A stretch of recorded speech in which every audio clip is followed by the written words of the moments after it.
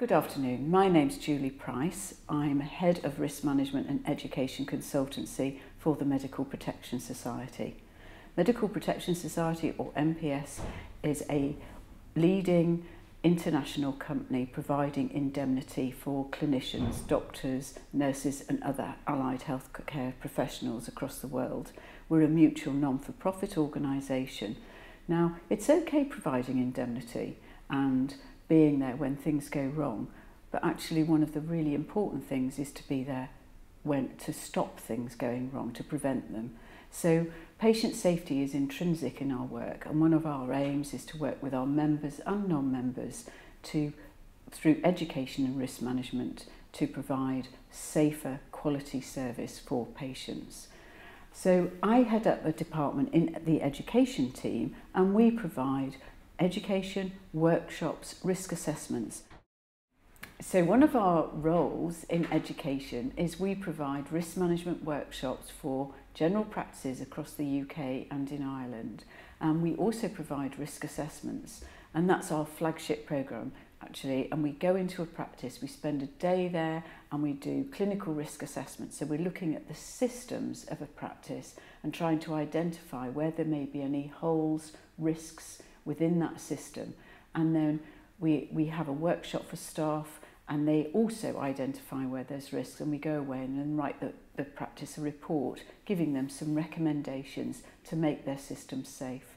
Um, it's a, a really effective program and we've worked with over 1600 practices across the UK and Ireland now all trying to improve the quality of care that they provide. And just to give you an example, we had one practice that we've been to that with the in England with the Care Quality Commission had been and visited them and they gave them outstanding. So you think why would they have a risk assessment done by MPS? They invited us to go there and when I spoke to the practice manager she said it was about quality improvement that they want to provide a quality service and want to always be looking at where they can improve.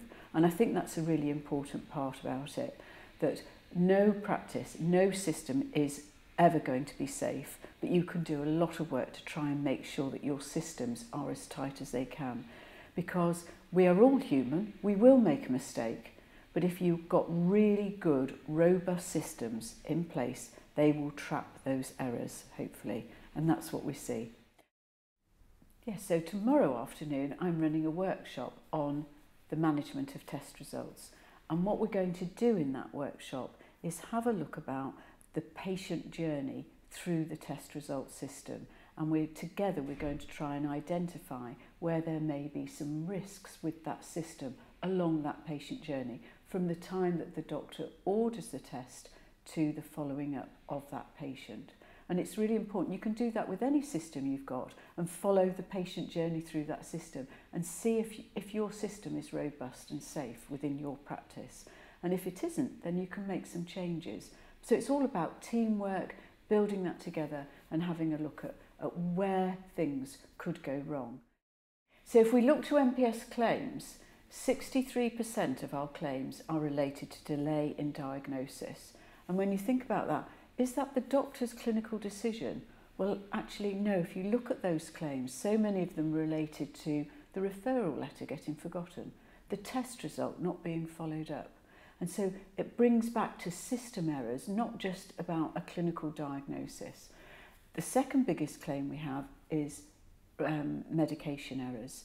So 19.3% of our claims are related to medication errors. So again, that other system, repeat prescribing, it's so important within that practice to make sure that the system of the prescribing, the patient journey through that is safe.